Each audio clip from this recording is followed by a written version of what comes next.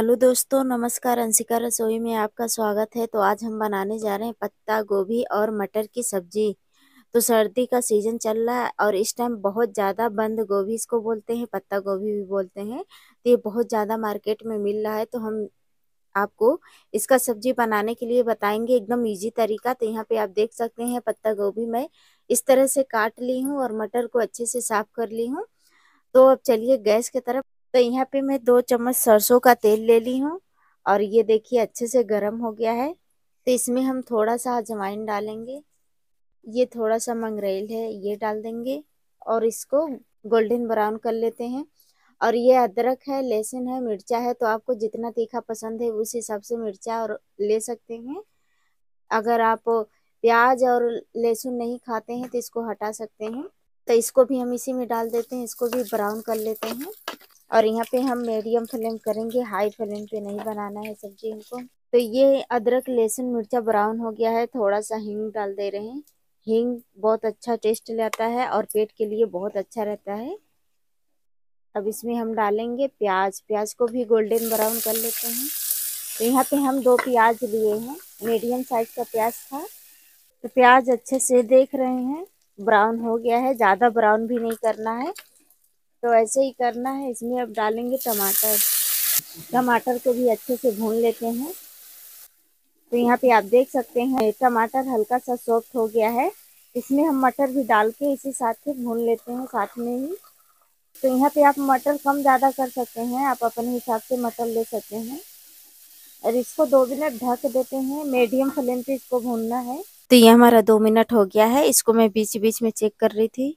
तो यहाँ पे आप देख सकते हैं मटर का कलर चेंज हो गया है। अब इसमें हम मसाला डालेंगे।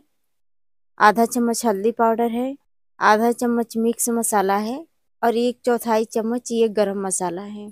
अब इसको हम अच्छे से मिक्स कर लेते हैं। इसको भी दो मिनट भून लेते हैं। तो ये हमारा दो मिनट हो गया है, मसाला भुना गया है। अब इसमें हम पत्ता गोभी डालेंगे और इसको भी अच्छे से भुनेंगे। तो पहले इसको अच्छे से मिक्स कर लेते हैं, इसके बाद से तो यहाँ पे हम स्वाद अनुसार नमक भी डाल देते हैं।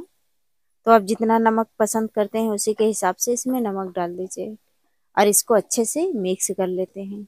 यहाँ पे आप देख सकते हैं अच्छे से मिक्स हो गया है। इसको हम एकदम मीडियम फ्लेम करके इसको ढक के ऐसे रख देते हैं। तो जैसे ये गलेगा वैसे ही पानी छोड़ेगा तो एकदम ये सॉफ्ट हो जाएगा और पानी छोड़ता रहेगा पत्ता गोभी। हमको इसमें पानी नहीं डालना है। हम ऐसे ही सब्ज़ी बनाएँगे तो इसको ढक देते हैं, दो मिनट के बाद आपको दिखाते हैं। तो ये हमारा दो से तीन मिनट हो गया है, इसको चेक कर लेते हैं। तो यहाँ पे आप देख सकते हैं, पत्ता गोभी पानी छोड़ रहा है।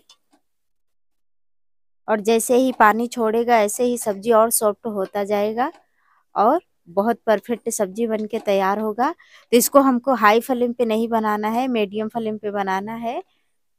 अब इसको ढक देते हैं फिर। तो ये हमारा सब्ज़ी कम से कम 10 से 15 मिनट लग जाएगा बनाने में और इसको हम मीडियम फ्लेम पे ही बनाएँगे हाई फ्लेम पे नहीं बनाएँगे। तो इसको फिर से हम ढक देते हैं चला के और इसको आप बीच बीच में चेक करते रहिए। तो ये हम 10 मिनट के लिए ढक दे रहे हैं 10 मिनट के बाद दिखाते हैं। तो ये हमारा 10 मिनट हो गया है, अब इसको हम चेक करते हैं। तो यहाँ पे आप देख सकते हैं, सब्ज़ी बहुत अच्छा हुआ है, एकदम अच्छे से गल गया है। तो ये सब्ज़ी बन के तैयार हो गया। ये सब्ज़ी बनाने में हमको पंद्रह मिनट लगा है और ये एकदम मीडियम फ्लेम पे हमको बनाना है हाई फ्लेम पे नहीं। इसको बीच बीच में आप चलाते रहिए, बहुत अच्छा सब्ज़ी बन के तैयार होगा। अगर हाई फ्लेम पे बनाएँगे तो परफेक्ट सब्ज़ी नहीं बनेगा। तो ये सब्ज़ी हमारा कैसा लगा तो आप कमेंट करके ज़रूर बताइएगा। सब्ज़ी का स्वाद इतना अच्छा लगता है कि आप चिकन खाना भूल जाएँगे, अगर इस तरह से बनाएँगे तो। तो आई होप ये वीडियो पसंद आया होगा तो लाइक, शेयर, कमेंट ज़रूर करिएगा और मेरे चैनल पे नए होंगे तो सब्सक्राइब करिएगा। आज के लिए इतना ही है, फिर मिलते हैं नेक्स्ट वीडियो में, धन्यवाद।